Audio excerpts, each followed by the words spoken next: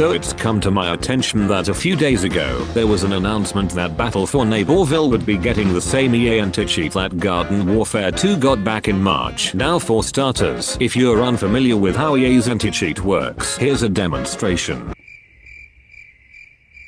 Exactly, it does fucking nothing. Nothing except for pretty much making the game inaccessible to Steam Deck and Linux users, and generally make the game not only hog more resources, but again, with it being a kernel level anti-cheat, it basically has access to your entire machine. What makes this especially comedic is the fact that BFN on PC already had a fucking anti-cheat. Yes, I'm being serious. And unlike the EA anti-cheat, this one actually did something, somewhat. This anti-cheat was called Easy Anti-Cheat and although it wasn't foolproof when in combination with the fact that BFN was essentially a lot harder to mod in general, actually made the game fairly cheater free for the most part. This anti-cheat was made by Epic Games and is also used in their juggernaut title of Fortnite, so you know this thing must actually be good if they're willing to use it on a little billion dollar IP.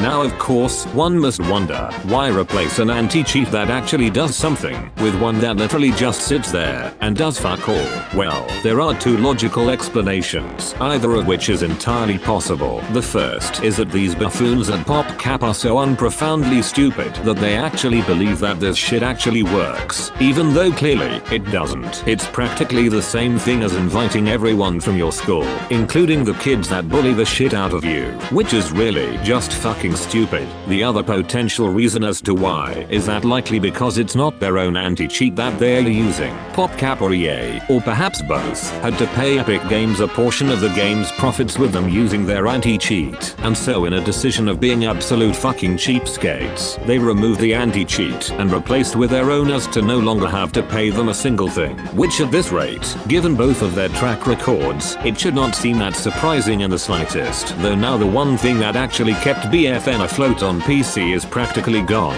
And now, people can just do shit like this. So if by chance you stream the game on PC, I would suggest suggest avoiding public Giddy Park lobbies because who knows what the fuck they could actually put in these things now. So pretty much, this game is now just as fucked as Garden Warfare 2 on PC, and at this rate, either they'll just slap this shit onto Garden Warfare 1 next, or just outright shut it down. Well, that's another headache endured from PopCap's completely illogical decisions, so off to fucking bed I go.